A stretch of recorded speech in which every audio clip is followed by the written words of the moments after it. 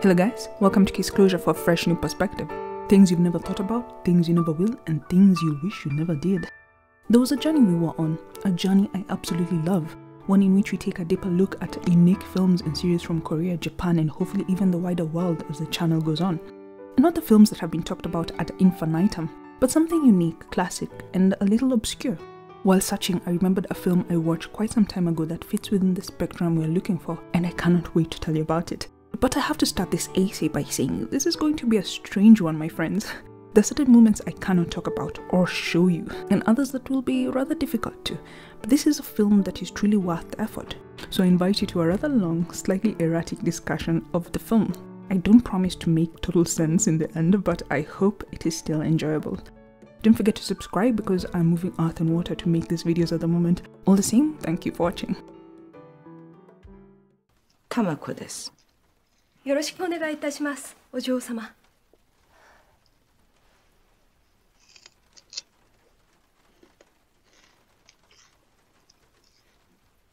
The Handmaiden is a film by director Park Chan-wook, who is a contemporary of Bong Joon-ho. Bong Joon-ho, of course, the much-deserved Oscar winner for Parasite. Bong Joon-ho.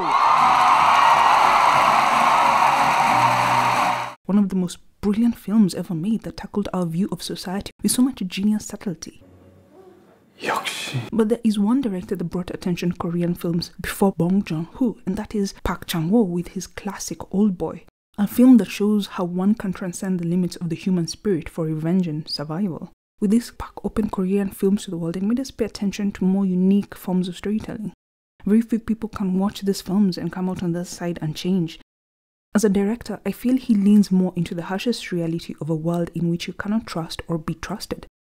Unlike Bong, he rarely uses humor, instead choosing to make it more psychological, somewhat asking the question that we will never know what to trust until we die. So to begin, let me tell you about the film, especially the characters, so as to help you follow along with the essay. The Handmaiden is a historical psychological thriller focusing on a woman named Soo Ki, who is brought on to be the maid of a wealthy heiress named Hideko. But it's not as innocent as it would appear. She is actually a thief working with Count Fujiwara on a much larger plan to steal all of the heiress's wealth. It is a plan that involves Fujiwara seducing, then marrying Hideko only to later cast her into an insane asylum and run off with all her money, with Suki getting a cut of that. For a while, it seems just this, and as you watch, you'd be tempted to turn away because you feel sorry for the heiress, while thinking you can predict the whole movie. 사기꾼이 사랑을 하나요? But the film offers a rather intriguing twist. In the second arc, we discover that Hideko is just as controversial as the rest of them. She had long before orchestrated another secret plan with Fujiwara to have Suki be the one buried in the insane asylum under her own name. This, she hoped, would forever free her from the abuse and control of her uncle, Kuzuki. Uncle Kuzuki. My goodness, how does one even explain this character? Well, the only way I know how, I'm going to give you everything all at once.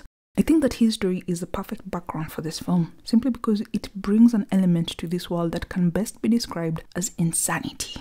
Let me be as fast as possible. Kuzuki was a translator who bribed his way into translating for high officials. He then helped Japan claim land from his own homeland Korea so he could get rights to a gold mine. He later wanted to be considered Japanese, mostly because of their power as a colonizing force of that time. I interpreted it that way because of the words he uses here that beauty is cruel, and Japan being beautiful to him, even as colonizers, would mean that he values their power, and it may have given him some strange justification for the power he also wields so cruelly. He achieved this power by marrying the daughter of a fallen noble and went a step further by taking on his wife's family name, Kuzuki. He built a luxurious mansion with Japanese and English architecture and filled it with enough books and antiques to make him one of the biggest collectors of the era. As time passed, his gold mine began losing value, forcing him to sell his precious collection in order to make money. But a man so in love with his prize would never sell the original copies. Instead, with Count Fujiwara, they worked together to make these forgeries for him to sell. 정교한 위본을 만들 전문가를 수소문합니다. 나고야노 학시아카 후지와라 사마다. He then auctions the books away after private readings, and that sentence is not as innocent as it would appear.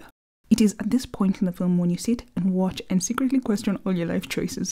The movie goes into extremes, almost to the point of making it some kind of fetish, because the readings are not of what the ordinary person would consider classic works, but the most unusual erotica.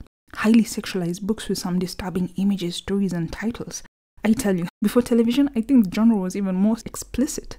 And these are the kinds of books that he makes his niece read before a room of perverted gentlemen. And that summary right there could be the entirety of The Handmaiden. Perverted gentlemen, a near perfect oxymoron. Words that shouldn't be so close together, and yet here we are. But the story is not just about this, thankfully.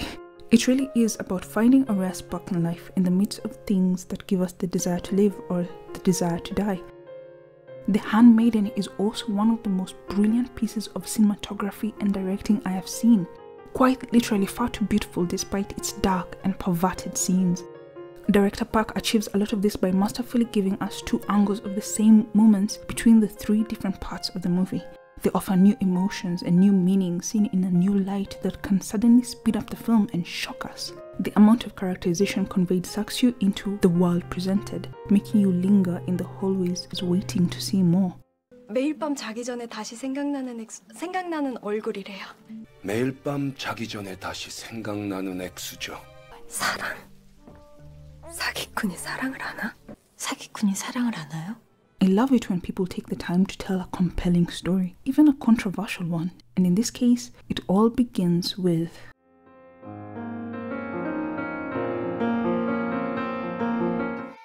The first thing you hear when you watch the film is the sound of children singing, but then, in a sharp contrast, it cuts to the image of soldiers marching during a downpour. I think that this is brilliant imagery. It highlights the destruction of innocence and freedom that occurs throughout someone's life. It brings forth the rather cruel thought that our inevitable end, in order to survive in this world, is to lose those fresh, curious eyes that would only see the fun to be had in everything, even in the rain. We see this in how the grown soldiers cannot even tolerate the children anymore. And in that falling rain, we also see a family overburdened with babies, once a lamp of laughter, but now a source of their worries. The film seduces you into thinking this way because of your own worldview. You pity them the moment you see them, not the babies, but the overburdened ones. Then you think little boys must become soldiers, the builders of a rigid world that takes no prisoners, and little girls the overwhelmed bearers of lost generations forced to lose their innocence much earlier and much faster. And in those few scenes, the historical period is brought to life as well as our own personal beliefs. And even with the changing gender roles of our modern world, we understand how humanity saw themselves for a long time, and it helps shed light on the message the movie is ultimately trying to share in the end that hope isn't often from the expected source of strength and power. It reminds me of this sad scene from The Blue Eyed Samurai, a series I'd really recommend, in which a woman would not be allowed to sell her crafts without the presence of a man. I make the baskets. He only sold them. Please. Or I can't feed my children. You know the rules. Women can't travel without a chaperone. That said, despite what most people might think, I don't see The Handmaiden as a feminist film. To me, the film is more like a peek, a hidden look into a world that's ours and yet one would rather not see. That's why the film has to seduce us. It uses a look that captures us just as it captures the characters. 어라, 새 손님이 나타났네. Like using binoculars to peer in on a scandal, hoping to know the truth of the story. It is so subtly packed with imagery that makes you think, that makes you admire it despite the rain and fog. You are seduced by the beauty, the wealth, the power, the servitude. you are even seduced by the grimy faces staring back at you, wanting to understand the strange color in their eyes, wanting to touch the brokenness. And you're also seduced by the characters as the movie slows to reveal their most intimate thoughts and their ultimate destruction. As every scene, even the glittering shades mixed with beauty and vice, carry with it a message you cannot refuse. Because beneath the seduction, the movie shows us a people willing to do anything it takes, no matter how cruel, to benefit themselves. And we as viewers shudder, wondering if we see ourselves, even if it's only for a moment. This is most evident with the maid who gives too grand a speech about the house and its luxuries, giving too much praise for the current owner, Uncle Kuzuki a maid that we later learn is his real first wife, whom he left in order to marry an heiress, a maid who therefore shares in her husband's schemes for power and control, knowing full well the darkness her husband has wrought in the lives of these women. She is even participating in their abuse and helping him fuel the fire that leads to a mental breakdown.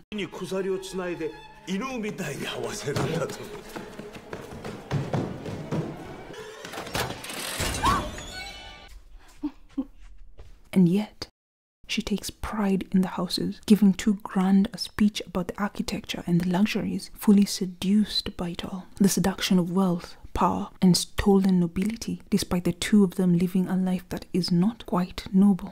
이런 데게 왔으니 네가 얼마나 싹싹한 하녀가 돼야겠니? The camera seduces us into longing with the man enthralled by a thing he cannot have. Wow, that was a bit of a tongue twister. I am trying to make this epic and probably failing miserably, but bear with me. Count Fujiwara is so emblematic of the pursuit for wealth that despite his cunning, he would miss the telltale signs of his own coming doom, just so he could have the thing he never can, even for just a moment. 내가 탐하는 건 뭐랄까 가격을 보지 않고 포도주를 주문하는 태도 and in this ways, through these characters, the whole film is ultimately the seduction of life and death, desire and balance, leading us to further wonder at whose reflection is in the mirror, ours or the characters. And we ask ourselves, what is it really that drives a person?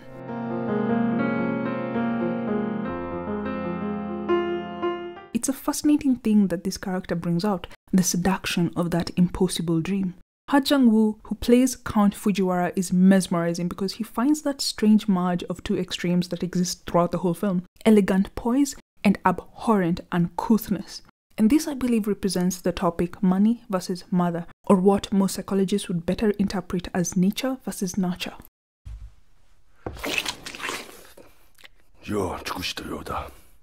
Count Fujiwara has a rather fascinating story. Originally the son of a farmhand, poverty forced him to work as a tout in a brothel. And with the full amount of one month's salary, he bought himself an expensive suit, probably opting to go penniless for the rest of the month. And then again, with the next month's salary, he paid to eat at the Imperial Hotel, which must have been quite an expensive dine. When Englishmen who frequented the brothel later recognized him, they were so intrigued that he was the kind of man to spend two entire salaries on clothes and food, or as Fujiwara calls it, a proper meal. I like this reveal because it's a desire that we all secretly share. I sometimes wonder what I would do if I felt it was okay to empty out all my money and spend it on one thing. It would be so frightening, and I don't think I can do it. But the only thing I ever see myself risking everything on is a holiday, and still only in my dreams.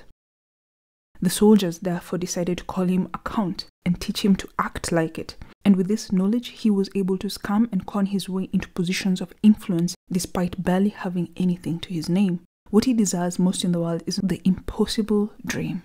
그 비슷한 어떤 거예요 This explains the sheer insanity it would take to learn about an heiress, get intimate details about her life, teach himself to draw and forge documents in order to gain favor with Uncle Kozuki, to then pretend to be a noble man from a recognized city only so he can one day claim her wealth. Consider what drives a person at the end of the day. Is it our nature or our nurture? A discussion that has been ongoing for a very long time. I would say upbringing plays a crucial role, but the film won't agree with me. And I like that because I get to think on different perspectives. I look and question why these men act as selfish as they do. Just like Uncle Kuzuki's view that the only thing that seems to justify heinous harm done to another person is unchecked power and unchecked desires. So when we see these two men, born without privilege and yet being able to con their way into positions of influence and power, even though there is a part in our nature that secretly admires that, we still appreciate the nobler message in the film when the two men fittingly share the same end. It proves that absolute power is what reveals one's true nature. There is no predetermination, no one color fits all. The movie further emphasizes this distinction that despite being a thief, Suki is not as cruel as Count Fujiwara despite living a rather similar life. Even the maid is crueler, despite having a life that is much more forgiving. When Suki learns what Hideko has been forced to read, she is the one to pick up the higher moral and go on a spree of book drowning. 내 인생을 망치러 온 나의 구원자, 나의 타마코, 나의 수키.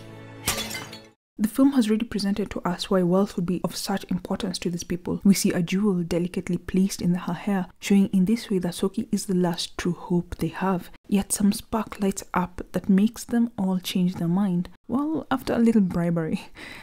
This presents to us a much needed purity when it comes to friendship and humanity honest love, honest rage, honest concern that is not muddied with pride, lust, or envy is possible even in the foggiest of days. And in a fascinating way, therefore, the film stops being about our darkest traits, but our most praiseworthy capabilities. That anyone, even a woman so broken by the strict and loveless upbringing she endured, enough to call herself as cold as a waterfall, can reawaken and find new meaning in life. Which comes after one of the most brilliant twists ever put to film. Suri Shyamalan. In this twist, Hideko is presented as the height of evil when we see Suki being dragged away into the insane asylum instead of what we've been expecting for the entire half of the movie. We accept this new dynamic to a woman we have all along pitied and seen as helpless, bound to a cruel fate. And yet, in time, we are drawn back to her side, and we stop seeing her as a spoiled rich lady that's not given to the cares of the world, but we see one that's truly troubled by them. 수키야, 내가 걱정돼. 난 네가 걱정돼. I love these scenes because our expectations of how people should act are utterly shattered. 갓난 애기하고 얘기할 수만 있었어도 아가씨 어머니는 이렇게 말씀하셨을 거예요. 너를 낳고 죽을 수 있어서 운이 좋았다고. 하나도 억울하지 않다고. This then brings in the question of at what point does someone truly give in to evil or give in to good? We can say that we are capable of the same natures, desire for wealth, for romances in all of us. So we do understand the reason why these men quiver at the smarty stories and the indecency of it all. And yet we also see the damage it leaves behind and we sympathize, which is why instead of nature versus nurture, I think of it more as money versus mother. Mother here representing unconditional love and our humanity towards one another. I was inspired to think this way by the first half of the film when we learn that these babies are all abandoned at birth. The film is set in the 1930s, Japanese occupied Korea, when tradition and modernity were clashing against each other, and that helps us understand why this is even possible.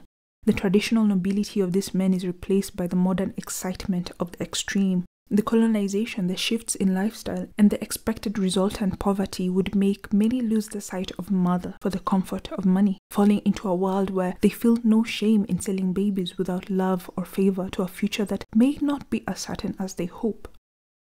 But even such people are capable of love. It is here that Suki says a rather touching thing that seemed to come out of nowhere. If she had milk, she would suckle all these rejected babies, showing that her humanity is not fully lost. And when she meets a lonely lady brought up without the love of a mother, she becomes the voice that worries after her. Money versus mother is all about what we find ourselves capable of doing when the question of survival is forced upon us. And it is this individual choice that determines who is mother and who is monster. Because there are conmen and thieves in all places, from the lustrous halls of palaces to the grimy corridors of hidden slums, just as nobles and heroes can come from anywhere. And yet we cannot deny that the only thing of lasting value to the human soul is mother, love, and the humanity that comes from any act of kindness. Deep down, our nature isn't to be cruel, but one in which we long for the best in each other and for each other. We want to be in communities that thrive for the better. And given the opportunity, if money wasn't such a powerful negative influence, we would be surprised at the lengths we would go to in order to save one another. We're reminded that even in the shadows, there can be a crack of brightness. And that said, there are two other things that captivate us that are much, much harder to split apart.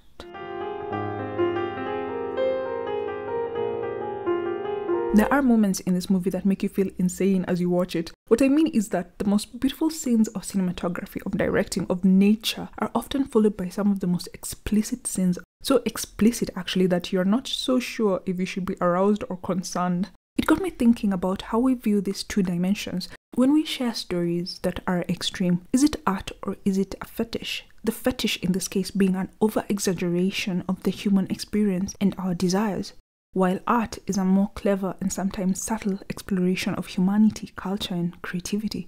So, why talk about these two things together? They couldn't be further apart from each other, right? Well, because I believe the director wants to openly show our most animalistic characteristics and our most exemplary ones so that we get to ask ourselves what most captures us the art or our fetish.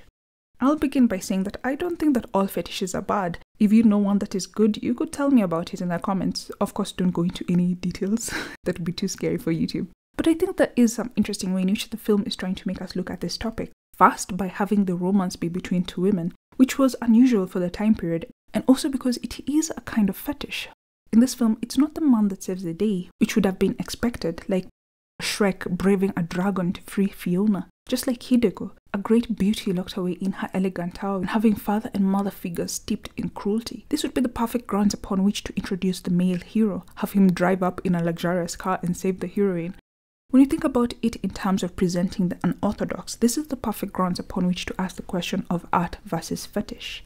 Because it is this unusual romance for its time that topples the greater sexual fetish of the film, with Uncle Kuzuki cradling his dirty little books like rare jewels.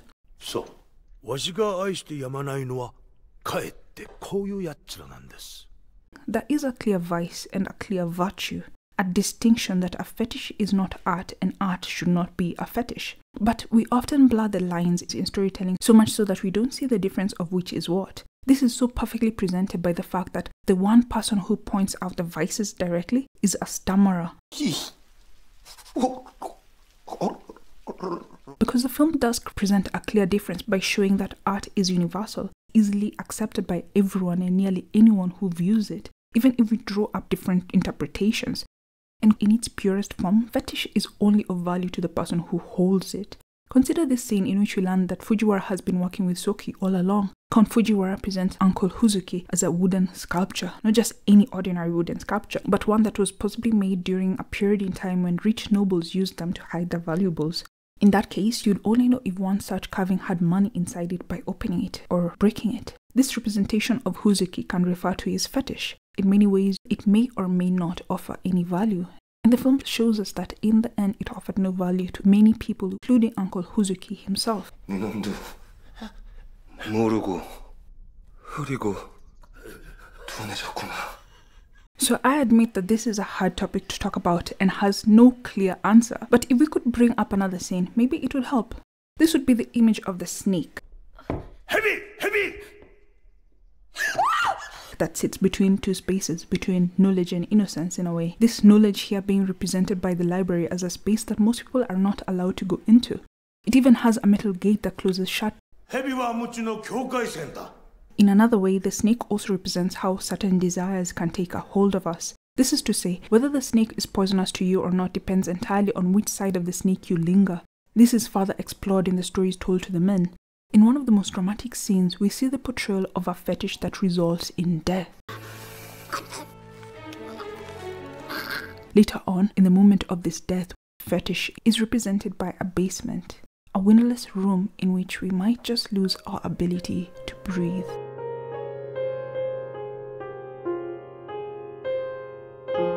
There has been a subtle theme throughout the movie that can't go unnoticed. In fact, I only noticed it after a second viewing, and that is the breath, things that cling to us until we die. In many ways, our breath is used to represent the current path we are on of either the scented flowers and perfumes, or the open air, or even the poisoned smoke. It all starts with the scene where Suku sings about what scent it is that she's discovered, to Hideko catching her breath after a long read in a troubled space, to breathing in the fragrance of a new life, to the clear white smoke Fujiwara inhales on a bright sunny day, unaware of the freedom that he has in that moment, to the blue poison of mercury he breathes in at the end that kills both men. Uncle Kuzuki calls it his smoke, and before dying suddenly in the haze, he actually considers it beautiful. This smoke therefore marks the manner of his life that lacked warmth or even a proper legacy to leave behind. And as the film ends, we hear the final breaths of these broken desires giving way to the freedom of open air. It poses the question to us what kind of life are you living until you die?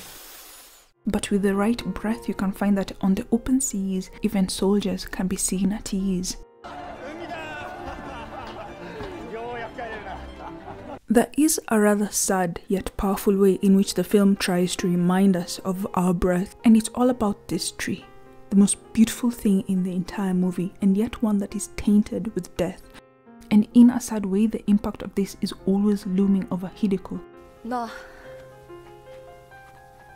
But when the smoke wafts away, when there's a chance for clear air, it goes back to that beautiful symbol of a wonderful life. And I sort of like that because life can be tainted with horrible fog and horrible smoke. But once you clear out the air, be willing to allow hope to touch you and even freedom from negative thoughts. You'll be surprised at the beauty that still lingers.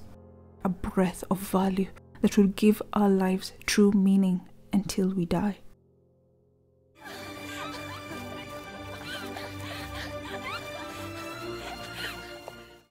The Handmaiden is a rather beautiful movie despite its strange insanity. It is so well directed and filmed that it seems to create a culture all its own. The slow pace of certain scenes only enhance the richness of the characters. The subtle music, the horrifying moments, and even the atmosphere combine to make this a rather remarkable piece of art with one of the most bizarre endings I have ever seen put to film. I even hesitate to show you the little that I am showing you. This is definitely one of the most unique viewing experiences I've ever had. It is one of those movies that I will find myself watching again in future, not for the naughty bits, mind you, but just to admire the beauty of it and hope that it may also ignite in me something creative. So I highly recommend you to watch it, even though I've pretty much spoiled it to smithereens. It is a rather unique piece of media. あなたの前に立っているのが怖いです心の奥が見透かされているようで Thank you guys so much for watching. This video took some commitment since The Handmaiden is an old film and probably not on anyone's radar at the moment. But I really wanted to explore its hidden spaces, no pun intended. I also want to venture again into the journey we were on with Korean and Japanese films. I feel like there is so much more amazing stories out there hidden behind different languages and different periods of time. So come along with me and who knows what we'll discover next. Please do subscribe, hit the notification, like, share, tell me your deepest thoughts on what the movie revealed to you in the comments, and I promise you I'll keep improving as the days go by because this is probably the weirdest video on my channel. But thanks so much again for watching. I hope you're having a great week and I will see you next time.